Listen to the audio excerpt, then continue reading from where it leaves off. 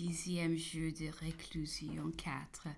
L'homme n'est pas sorti encore. Il avait dit pourtant qu'il monterait à cheval sur les quatre mais la pluie est venue déranger son attention. Il a reçu le grand maréchal sur les huit heures. Il m'a fait appeler pour dîner avec lui.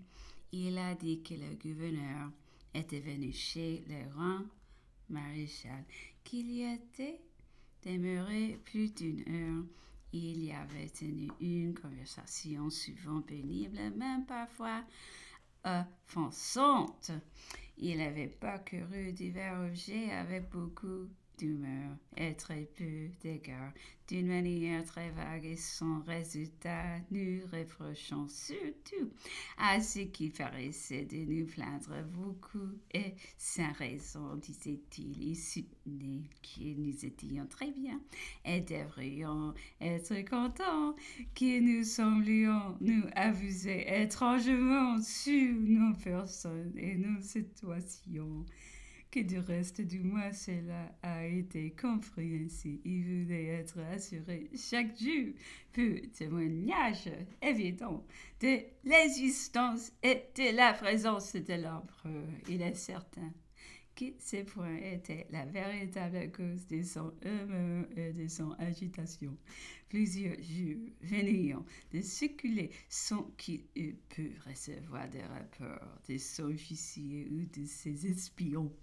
L'empereur n'étant point sorti et personne n'étant censé avoir été admis chez lui. Mais comment s'y prendrait-il? C'est ce qui nous a fort occupés à notre tour.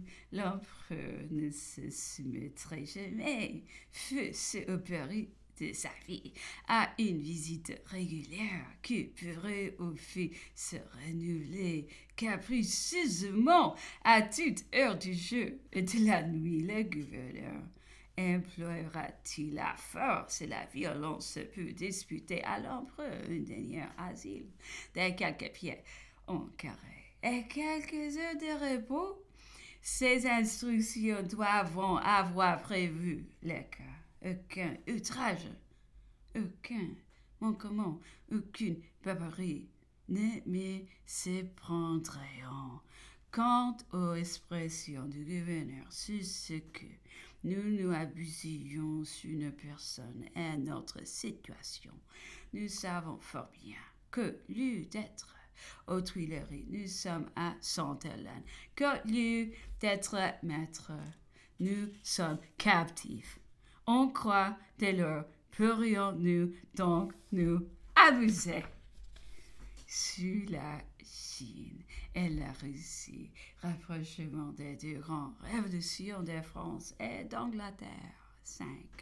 Sur les 10 heures du matin, l'empereur est monté à cheval. C'était sa première sortie. Les résidents de la compagnie des Indes à la Chine se trouvaient là celui-ci étant depuis longtemps l'honneur de lui était présenté. Il a fait appeler, la questionner pendant quelques minutes avec beaucoup de bienveillance. Nous avons fait route ensuite pour aller voir Madame Bertrand. L'empereur y est resté plus d'une heure. Il était faible à échanger. Sa conversation Nous avons regagné Longwood. L'empereur a voulu déjeuner l'air. Il a fait appeler notre hôte de le bon monsieur Balcom et les résidents à la Chine qui se trouvaient encore là. Tout le temps du déjeuner s'est passé en question sur la Chine, sur sa population, ses lois, ses usages, son commerce. Les résidents racontaient qu'il y a peu d'années, il était arrivé aux circonstances entre les Russes et les Chinois qui peut avoir des suites si les affaires de l'Europe nous ont entièrement observé la Russie. Le voyageur russe Krisenstern, dans son voyage autour du monde, relâcha à Canton avec ses du bâtiment. On le reçut provisoirement.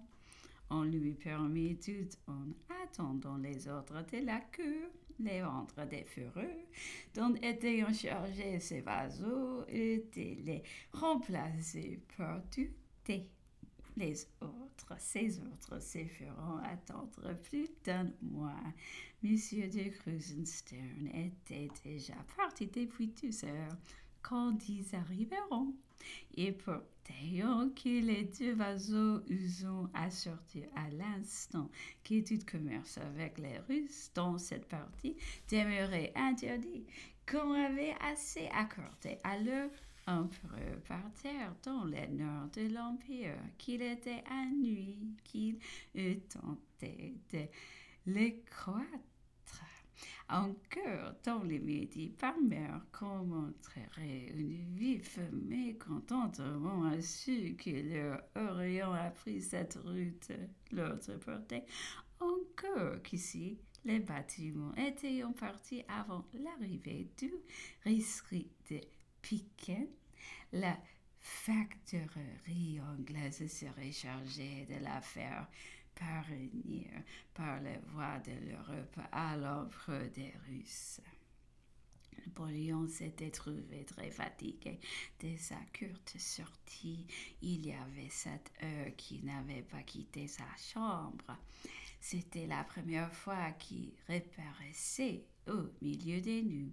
Nous avons trouvé ses traits visiblement altérés. Sous les cinq heures, il m'a fait appeler. Le grand maréchal était auprès de lui. Je l'ai trouvé déshabillé. Il avait essayé vainement de reposer. Il se croyait un peu de fièvre. C'était de la cubature. Il avait fait allumer de feu et n'avait pas voulu de lumière dans sa chambre.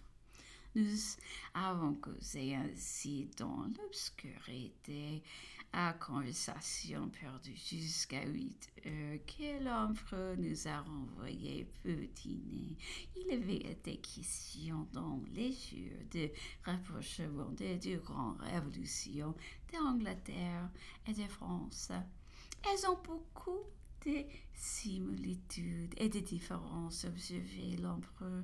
Elles sont inépuisable pour la méditation. Et il a dit alors des choses fort remarquables et fort curieuses.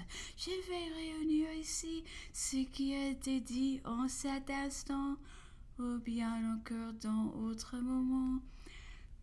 Les deux pays, la tempête se forme sous le doux règne indolent et faible de Jacques Ier et de Louis XV. Elle éclate sous le doux infortuné Charles Ier et Louis XVI. Tout tombe en victime, tout périssant sur l'échafaud, et leurs deux familles sont proscrites et bannies.